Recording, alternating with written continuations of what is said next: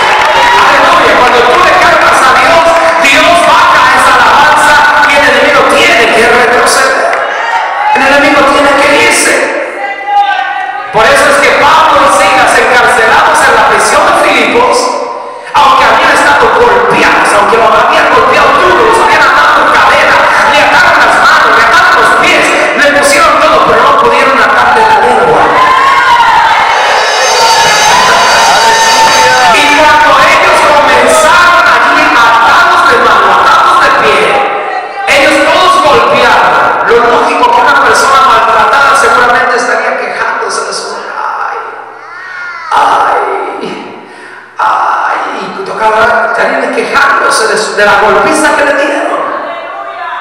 Pero ¿sabe qué hicieron ellos? Dice que ellos abrieron su boca y que comenzaron a hacer alabar a Dios, dice la Biblia.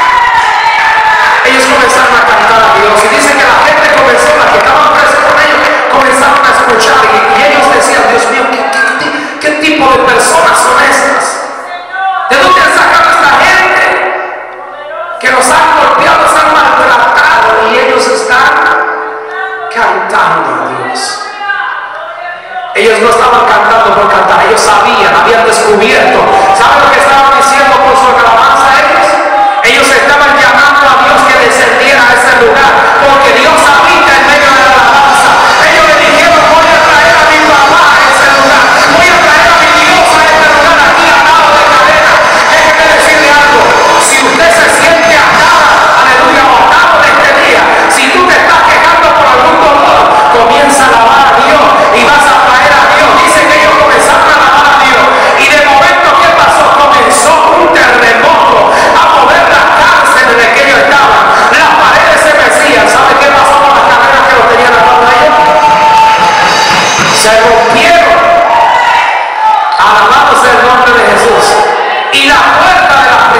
que no dejaba salir en libertad se abrieron.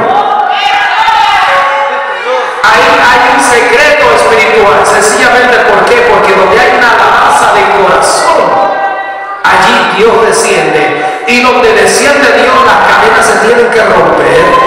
Donde desciende Dios, la tristeza tiene que irse. Donde